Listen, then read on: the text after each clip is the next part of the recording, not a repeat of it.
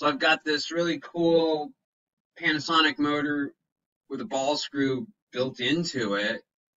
Um, hook up to my uh, Compact AC power drive, uh, motor power wires, uh, three phase. Uh, the feedback is uh, absolute. Um, multi-turn. There's a battery. Uh, I've got the STO bypass and a serial port connected. Um, 24 volts with a brake. So the brake prevents you from turning the shaft uh, when the when the drive's disabled. Um, you can still adjust the ball screw in your mechanical system, but normally this would be held in place and not allowed to rotate. Um, this is this has uh, 200 newtons of uh, loading in the uh, vertical direction. Um, I'm not going to side load it at all, um, but I do have 40 pounds here, which uh, according to the difference in time from here to here, the gravitational effect makes it uh, 200 newtons at this elevation. Whoa. Um, anyways, so I've got CME connected and disabled. Uh, I don't have any any counts, much counts here yet. That's my zero position. I could adjust this down um, for zero mechanically, and then and then hook it up. Uh, I, I, don't I don't want to go too far to the bottom because it uh, there's a the, the recirculating balls uh, kind of run out, and there's there's a limit to the the zero position. But so you get the stroke, um, uh, 145 millimeters length minus the diameter or the, the height of the the ball. Anyways, we'll take a quick peek at the uh, basic setup here. Brushless rotary. There's a brake. It's a Panasonic Absolute A format. Uh, I, am not ignoring the battery because I got the battery hooked up. Single turn, 17 bits. Uh, really 8192 counts per rev, so single turn bits to ignore was four, and then uh, 13 bits of uh, multi-turn, so 8192 counts for one rev, and then multiple turns 8192. Um, seems to be the configuration that works, although there could be variations on that.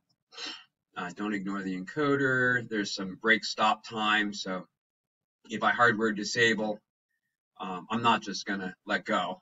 I'm going to come to a controlled stop at about this speed.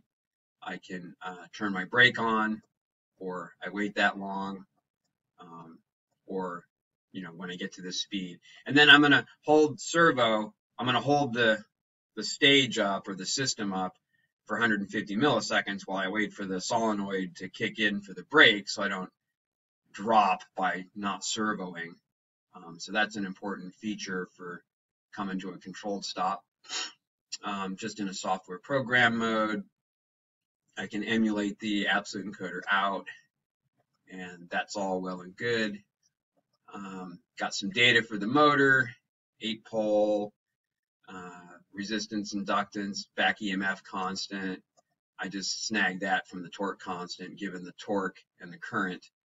Um, and that's, uh, I think that's an estimated value, but uh, converting back to the back EMF at 12 volts per kRPM. So I could theoretically go 4,000, but the literature said 3,000 is the speed for the ball screw. So I, will I'll not exceed that by much of anything.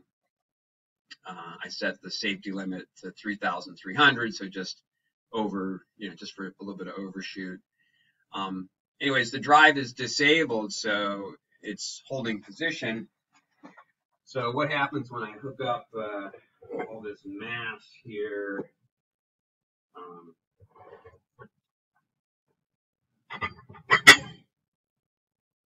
okay, so you can see the, the mass, when I let go, it starts to turn. So mechanically, uh, the ball would be in place. And, and this is just due to the gravitational effect and the ball screw uh, rotating itself down. The, the, the screw itself is not turning; it's just just the balls. And again, uh, Einstein's uh, theory of relativity, space-time. Um, I'm going to do a move uh, and enable the drive. And you can see with the brake, the current zero, there's no holding. Um, let's see if we can move up and down on odonomy. So we moved up, down, reading trace data. And uh, you can see now that we're enabled, uh, we're holding against gravity uh, with one amp of current on the control panel. And uh, we can see the effect of what happened here. So before the move was done, the drive was enabled, and you can see as soon as you let go of the brake, the servo has to catch, right? So some some current will build up uh, to compensate for gravity, and the following error comes back down from, you know, uh, maybe 10 counts of error.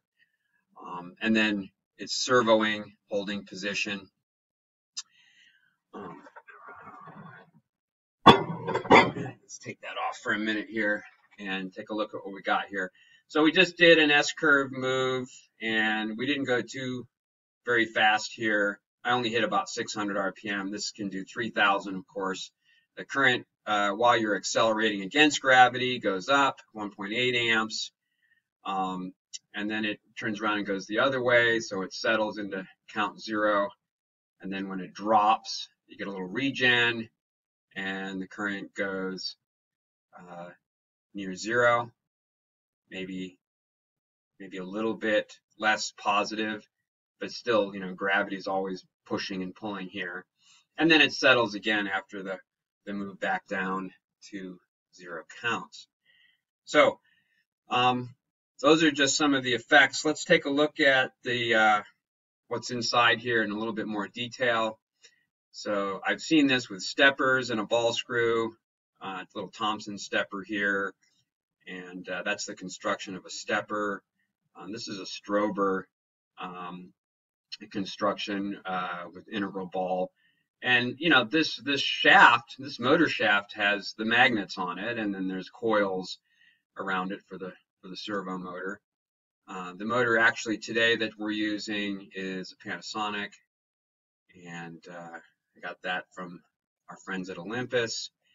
Um, you can see how to hook up the uh, the wiring here. Red, pink for battery, minus plus shield goes to the drive. Violet and um, uh, sky blue is for the data communicating to the encoder and then zero to five volts. Uh, we got two wires for the brake, 24 volt brake, and a UVW and, a, and an earth. And uh, you can see this uh, dimension here for this uh, THK style bearing um, and, the, and the ball screw. Um, just to get a basic idea of what's going on, so the this recirculating balls here, and uh, there'll be a, a distance for the for the pitch. This pitch is four millimeters. I got 8192 counts per rev. Divide four millimeters by 8192. It's about 0.5 microns of resolution. This is these are considered higher speed ball screws. Uh, some have bigger pitches. It's a low noise, long maintenance, uh, free operation THK. Uh, just some basic setup again. Um, the backlash or play, they gave a spec here and they said 0.01 millimeters or less of play. And that's technically that's the backlash and move the decimal point over 10 microns of backlash. It's not from the motor's coupling. It's a, it's a direct drive to the ball.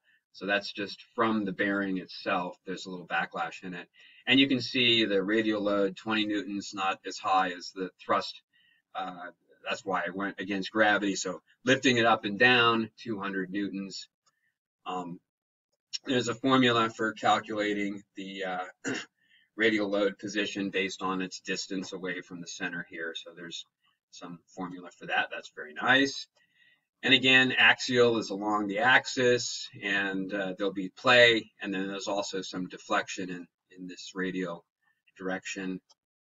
Um, regen has to do with dropping a mass, so the mass times the gravity times the distance is the stored energy.